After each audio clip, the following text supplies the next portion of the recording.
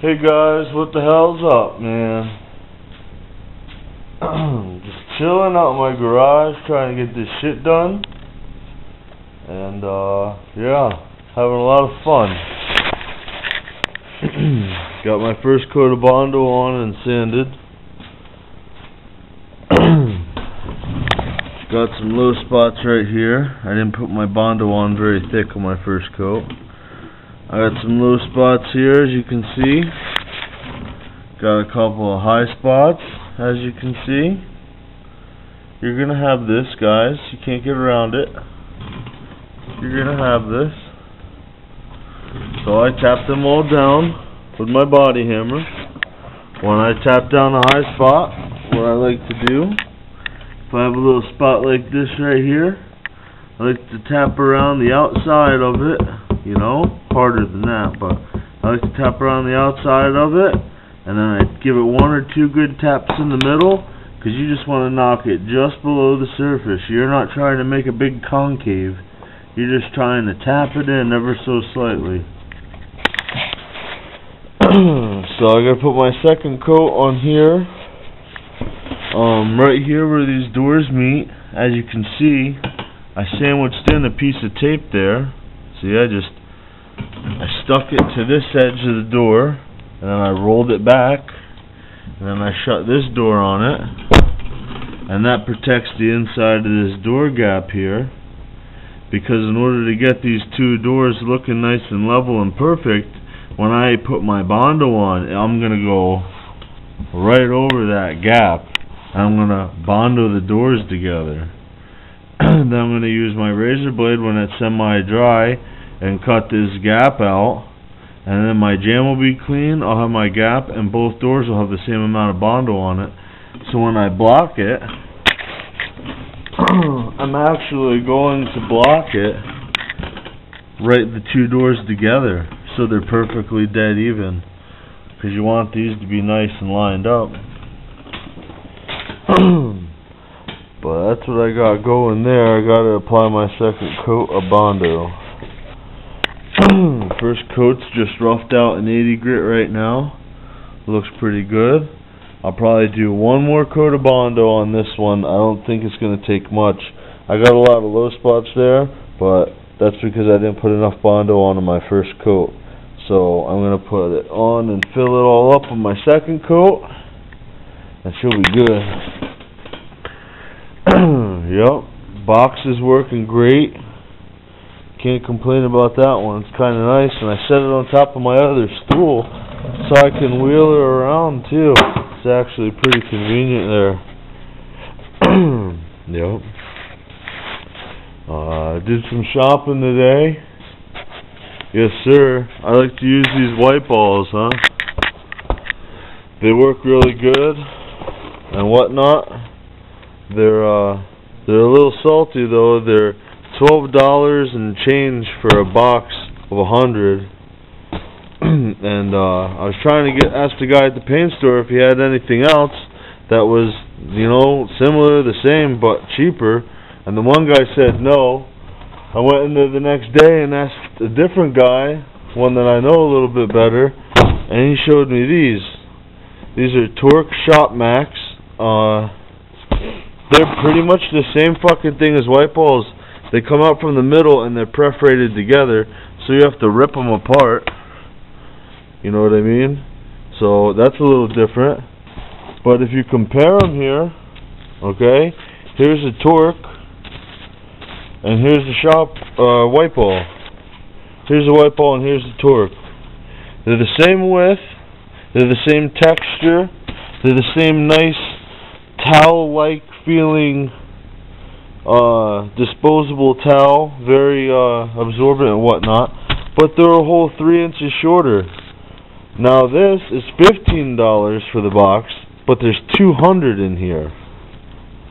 There's two hundred uh, in here for fifteen dollars versus a hundred of the WypAlls for uh, twelve and change. So I'm gonna start using these, I guess, when I have to buy them. But uh, See, you know, I buy a brand new box of these yesterday, right? You know what the fuck happened today? I like to go shopping at this surplus store, that's got a bunch of cheap shit all the time. Look what they fucking had, man. WypAlls, right? These ones are the ones that are twelve dollars and change a box. Look at this. Five sixty nine. I love this fucking surplus store. but uh they don't always have these. They only get them in once in a while, so I don't know. I had a hunch today that they had them, so I went down to go check, and they had them, and I got five boxes. They must have had like 15 boxes there. I didn't have enough fucking money, or I would have bought them all. You can't beat that. That's less than half the price of a fucking box. but now I got 500, six, 700, and a couple left in that box. So I got 700 WypAlls now. and uh, I think I'm pretty fucking good for a while. But these come in handy. I mean, I don't really use speedy dry or anything, so when I'm pulling an engine out and I get an oil spill, I wipe all the shit out of it. I just lay them over top of it. But uh yeah, WypAlls are fucking awesome. The other thing I found out that really pissed me off at the paint store, you know, when I go in, I just ask for stuff. I don't really ask for price. I see what the price is after I buy it. This shit right here, this DX330 wax and grease remover, is fucking uh forty forty-seven dollars and change for a gallon of fucking wax and grease remover. That made me sick when I saw that receipt. I tried to get Shopline makes it, and it's called uh, I forget the first two letters, but it's 101. It's J something 101. I asked the guy and he says they don't fucking carry it. Now I gotta ask the other guy, and I bet you he'll pull it out of the fucking back. I don't know. I don't understand these salesmen. All they do is commission, I guess. But yeah, forty-seven fucking dollars just for fucking wax and grease remover. I, fuck, I'd rather use fucking rubbing alcohol. I do. I use rubbing alcohol a lot for wax and grease remover. It works damn good, and it's cheap as shit. Forty-seven fucking dollars. What the fuck? Fucking reducers, fucking half of that. Ridiculous. But anyway. I'm gonna get my fucking second coat of Bondo on this fucking thing. And, uh, yeah, pump on this heat so it'll dry and warm up a little bit in here. It's about, it's almost 60 right now, which isn't too bad because it's pretty cold outside. Looking at 34 outside. So, it's pretty nice in here, not bad. Can't complain. But, uh, yeah, I'm gonna get my second fucking coat on there. Yeah. But, uh, come on now, Hodgepodge Garage. When the fuck are you gonna make a goddamn video? I'm telling you, man, make a bit video. It's easy as shit. Fucking turn on the camera, videotape something. Who gives a fuck what it is, even if you're just videotaping yourself saying, What's up, asshole?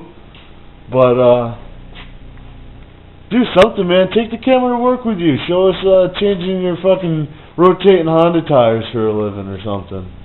Come on, man. Yeah, Hodgepodge Garage there. Old high school asshole buddy of mine. Fucking had him watching a couple of my videos and now he's hooked and he keeps begging me to make more. But he hasn't made a single goddamn fucking video. What an ass. Goddamn guy. But, uh, yeah. Anyway, I got, uh, my second coat of Bondo on. And, uh, it's looking pretty good there. See how I went right across the, the middle of the door jamb there? my tapes in back there to keep it from going in. I got her filled up pretty good. This should be my last coat of Bondo, I'm hoping. I got all three spots recovered. See, on something like this, when there's a body line like that, you can't just go and throw a whole shitload, shitload on, because you're trying to follow the original body line. If you throw a whole shitload on, and you stand in that body line, you're making your own without even being able to tell where the old one was. So on something like this on a body line, I usually do one, two, maybe three light coats of Bondo instead of piling all on at once because I'm trying to keep that original line that was there. I mean, you know what I mean?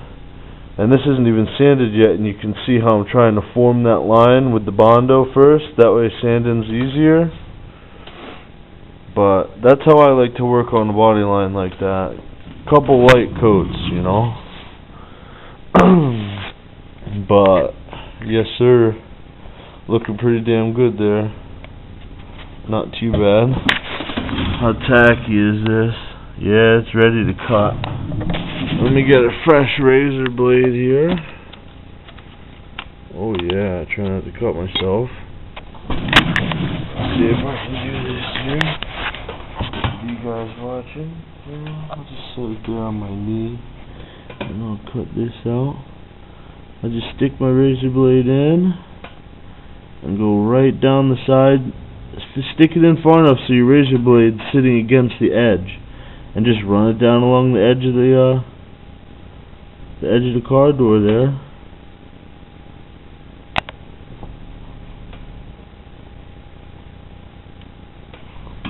Same thing on the other side. Just cutting out that little sliver.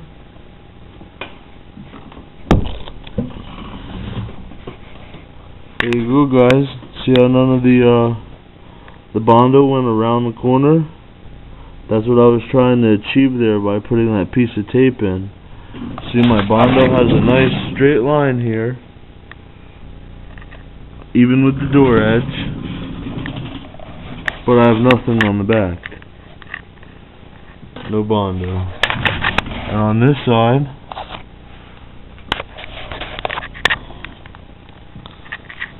Same exact thing.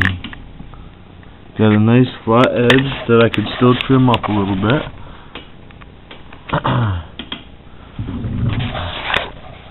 you know what I mean?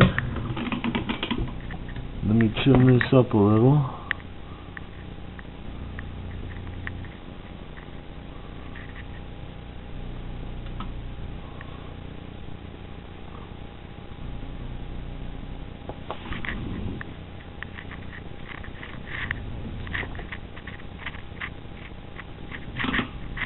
It's not even sticking. Right there. Hmm. Wasn't sticking there. Huh.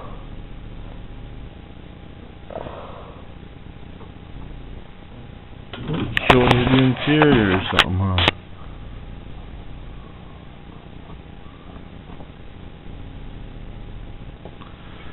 Anyway. See, I got a nice straight edge now. Cut it right down with the, uh, right down with the razor blade. You can do that to all your edges. You do it to the bottom edge.